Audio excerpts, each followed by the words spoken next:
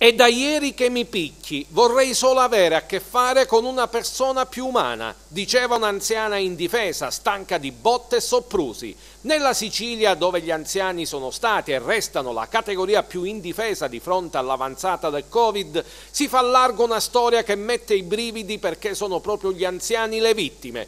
I finanzieri del comando provinciale di Palermo, su ordine del giudice per le indagini preliminari, hanno arrestato titolari e gestori della casa di riposo i nonnini di Enza, in Viale Lazio. Su richiesta della Procura della Repubblica finiscono ai domiciliari Maria Grazia Ingrassia, 56 anni, Carmelina Ingrassia, 51, Mariano Ingrassia, 62 e Vincenzo Alfano, 38 anni.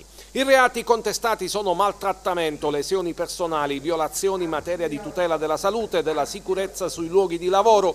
I pubblici ministeri del Dipartimento Fasce Deboli, coordinati dal procuratore aggiunto Laura Vaccaro, hanno chiesto e ottenuto il sequestro preventivo della Ollus che gestisce l'attività di assistenza residenziale. La casa di riposo viene affidata a un amministratore giudiziario.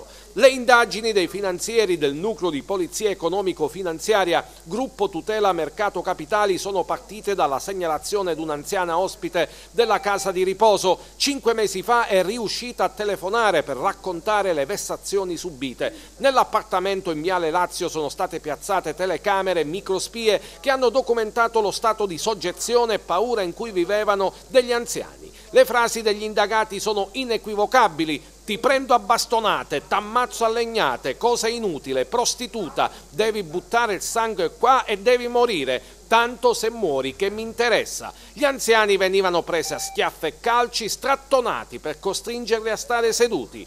Il ricorso a forme di violenza fisica e morale da parte degli indagati non ha assunto carattere episodico, scrive il giudice per le indagini preliminari Cristina Lobue, ma costituisce espressione di un consolidato modus operandi contrassegnato dal sistematico ricorso a forme di prevaricazione e sopraffazione nei confronti degli anziani ospiti, spinti fino ad atti di vile aggressione alla loro sfera di integrità fisica, oltre al loro patrimonio morale. I titolari della struttura devono pure rispondere del mancato rispetto delle norme di sicurezza, non indossavano mascherine e guanti, gli anziani sono stati ora sottoposti tutti al tampone per scongiurare pericolosi focolai.